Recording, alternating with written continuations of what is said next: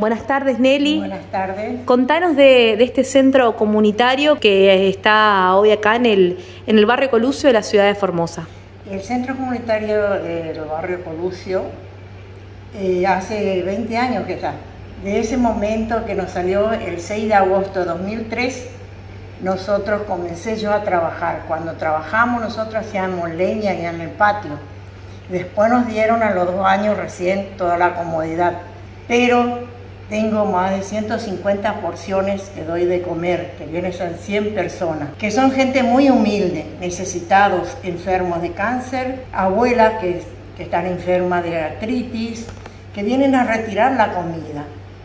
Y da pena porque en este momento hace cuatro meses que no tenemos, que el momento más difícil de la vida, que es ahora, no podemos dar de comer a esa gente. Vienen a averiguar, llaman por teléfono, y no sé qué voy a hacer. Lo único que yo quiero que me, dé, me den la personería jurídica. Por una cuestión de fondos y una cuestión también administrativa, eh, usted está impedida de trabajar hace cuatro meses. ¿Es el, ese es el principal motivo? No, el fondo está la plata. Es acá personería jurídica, la directora Jimena Areco, que no firma.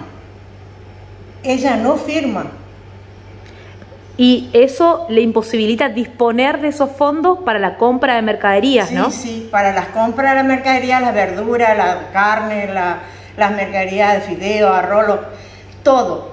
¿Y qué, qué, le dicen cada vez que usted va a insistir, llama, eh, para ver cómo siguen los papeles, si hay algún tipo de respuesta? ¿Qué le dicen, Nelia? Mire, cuando yo averigüé en noviembre me dijeron que estaba en el contador, que iba a revisar las cuentas.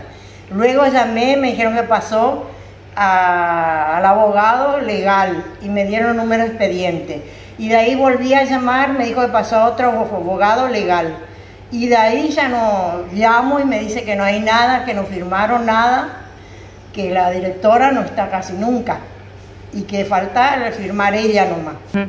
Tiene acá todas las notas, nos, estamos, sí. nos mostró Nelly, eh, no solamente el acta, sino todas las presentaciones que ha hecho para para, para obtener una respuesta ¿no? en cuanto a la, al otorgamiento de la personería jurídica.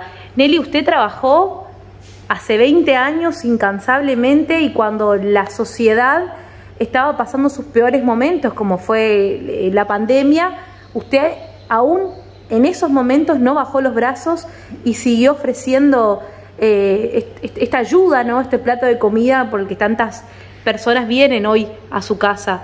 Sí, a pesar que tenía 70 años y seguí, pero le pedía tanto a Dios y a Jesús misericordioso que nada me agarre, que siga trabajando. Y al final no fue ni la enfermedad, no fue una imposibilidad suya lo que hoy le impide poder darle de comer a esta gente, sino que es una negligencia por parte de algunas autoridades eh, la que hoy le impide seguir trabajando y dándole de comer a esta gente. Sí, así es.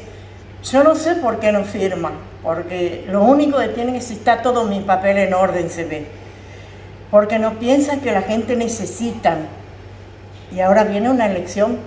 Yo soy peronista de corazón y muchos compañeros me conocen como el gobierno, también el gobernador Fran me conoce bien, a Nélida Morel. Yo no hablo mal de él ni nada, sino son los indigentes que tiene él ahí que no hacen nada. Por eso le pido al señor gobernador que le, que le diga al ministro González que su directora firme y deje de ir a tierra y no que no esté ahí, porque hay muchos, voy a hablar por todo, hay fundaciones, merenderos, me dijeron, y yo quisiera pedir por todo. ¿Por qué? Porque soy una vieja dirigente y necesidad hay en todo lado. Gracias, Nelly.